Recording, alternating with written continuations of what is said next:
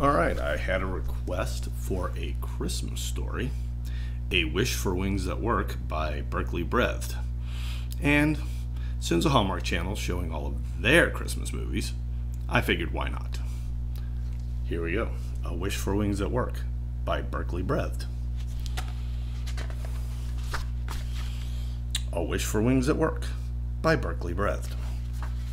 An Opus Christmas story. All men dream, but not equally. T.E. Lawrence of Arabia. It was a good morning to fly, even if it had come late and slow and so cold that a penguin feared his nose might freeze and drop off like one of the icicles hanging over the porch. Fly, Opus whispered to himself as he ran to the top of Duck's Breath Ridge at dawn to watch the snow duck soar above. Fly, he whispered as he lifted his wings and waited to be swept up beneath the fading Christmas moon with the other birds. But it was on mornings such as this that Opus's heart grew as cold as his nose. A penguin can surely say the word fly, but he cannot do it.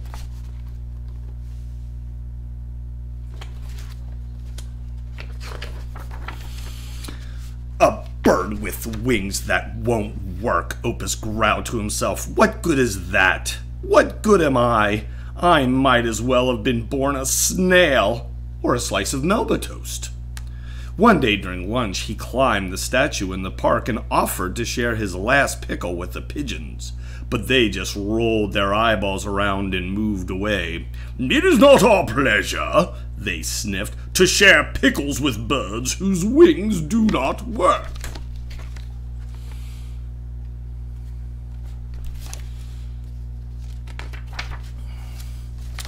If my wings will not lift me, I'll find something that does, thought Opus. He heard a man screaming on TV about a new product everyone should own called a Flap-O-Matic. Opus quickly ordered one. When it arrived, he put it together and hoped everything was right, since the instructions were in a different language. Opus carries carried it up to Vulture Gorge, strapped it on, and wound up the rubber band. Stepping to the edge, Opus looked down to the bottom three miles below. Yow! He gulped. He sighed, walked back home, and spent the rest of the day cooking anchovy Christmas cookies, which wasn't nearly as dangerous.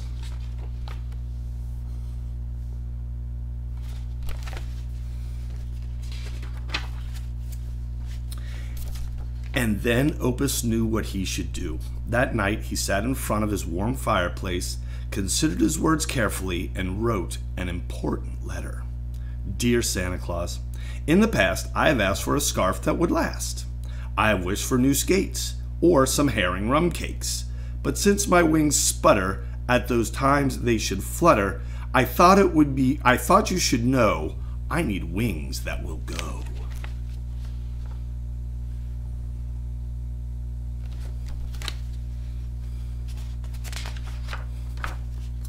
After mailing his Christmas wish, Opus congratulated himself that a penguin could be so clever.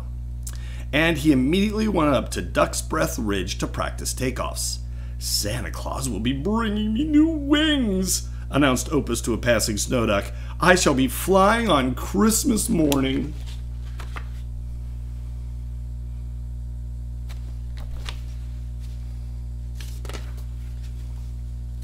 Christmas Eve soon arrived, and after leaving a note of welcome to Santa Claus in the fireplace, the penguin, whose wings would not work, tucked himself into bed. He burrowed down deep in his thick quilt, curled his knees up to his chin, scratched his nose one last time, and as a flock of snow ducks drifted silently across the full Christmas moon, closed his eyes. Fly, Opus whispered to himself just before falling asleep. I'll be flying on Christmas morning. And then he was snoring.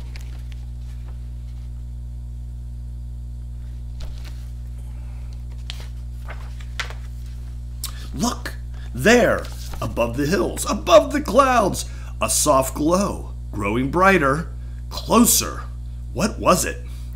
It was much too early for the sun. Maybe it was a duck with a flashlight. Listen, sleigh bells ringing. Ducks don't wear sleigh bells.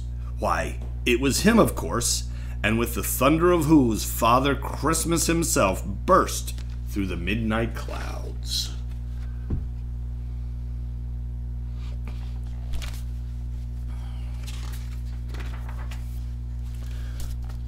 On over the countryside, Santa's sleigh swooped and glided and zoomed, and wait, there was a bump, a little thump, probably just some bumpy air. Or maybe not. Something was not right. A small piece of the harness had broken away. The reindeer flew on, but Santa's sleigh plummeted like a meteor toward the lake.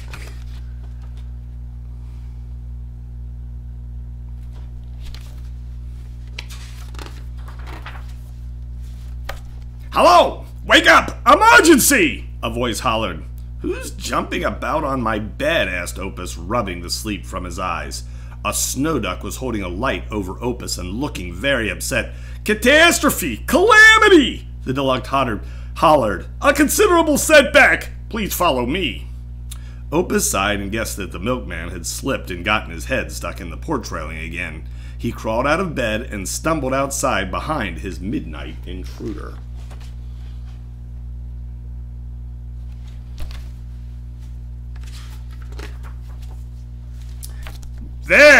Said the snow duck, and they pointed towards the dark lake. They lifted the penguin so he could see better. Opus could just make out something, a lantern out on the water. A big man with a white beard standing atop a sleigh that was teetering, rocking, and sinking. Opus gasped in horror.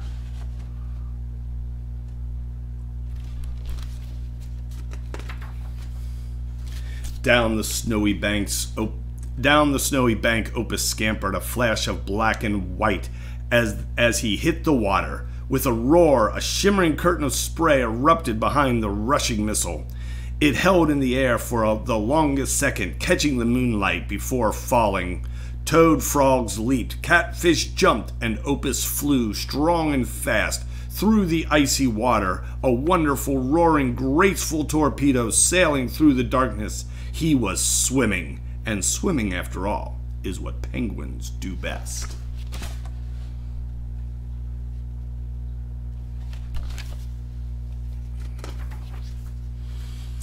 There! whispered a snow duck from the water's edge. Look there! he said, pointing now, for something was moving towards them. It was Opus. He was pulling the great Christmas sled and all the toys through the freezing water, water with the reins in his teeth. There was great sloshing and frothing and laughing. Somebody was laughing. Out from the sleigh, a deep voice of good cheer drifted in over the water. Ho, ho, ho, ho! It rumbled faintly. Ho, ho, ho! Go!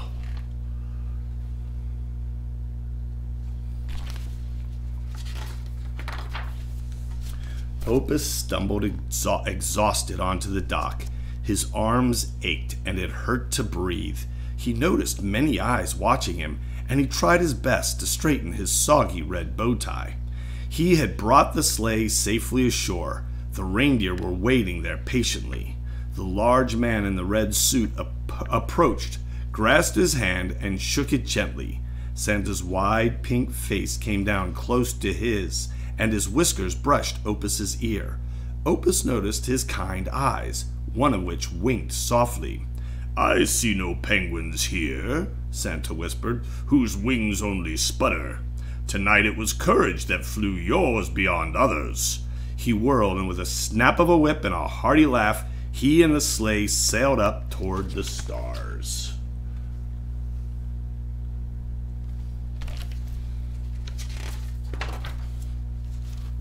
Opus awoke Christmas morning and stumbled sleepily to the door but he found something beside the morning paper outside.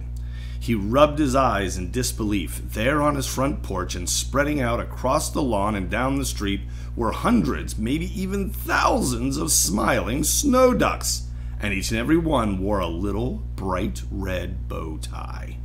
Two of the ducks took hold of his arms and led him outside, where slowly at first and then faster they all began running and flapping their wings. What's going on? said Opus but he already knew, for his feet weren't on the ground anymore. Over the streets and above the houses, those ducks carried Opus until they were way, way above Duck's Breath Ridge. Down below, people looked up, for they could hear a voice somewhere above the clouds. It was a penguin whose wings didn't work, laughing because he surely was flying on Christmas morning.